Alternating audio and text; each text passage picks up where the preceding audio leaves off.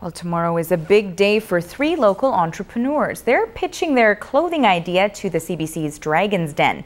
Now, the idea is certainly original and different, and as Teresa Lalonde reports that, the team is hoping that works in their favor. Three friends on a comfy couch wearing comfy sweatshirts, really, really long sweatshirts. They're called Thuggies.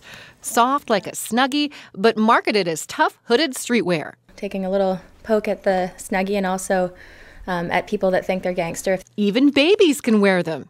You may think that's ridiculous, but that's the point. It started as a joke. Two years ago, Brian noticed skiers at Whistler were wearing long hoodies. He decided to sew up four of the longest hoodies to poke fun at those skiers. But we got our response was like super positive on the hill. Skiers would stop me and be like, "Yo, where'd you get your hoodie?" Later, Brian bumped into Kim while wearing the Thuggie. My girlfriend was like, Those are ridiculous. And I was like, Those are awesome. Because I thought they'd be perfect for cabins, and I have a general disdain for pants. Kim loved the idea so much, she offered to market it. Then another pal brought business smarts. I was like, okay, I think we can do some, make some money here. They are making money. So far, a profit of $20,000. Skiers are their biggest clients, and rowing teams and wakeboarders are buying them too.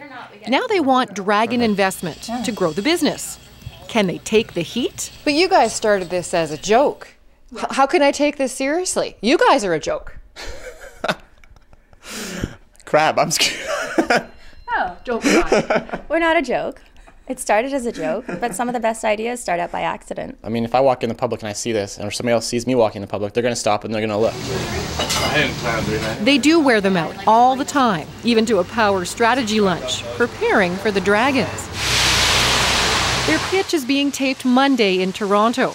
It might never make it to air, but they say any exposure they can get is a good thing. Teresa Lalonde, CBC News, Vancouver.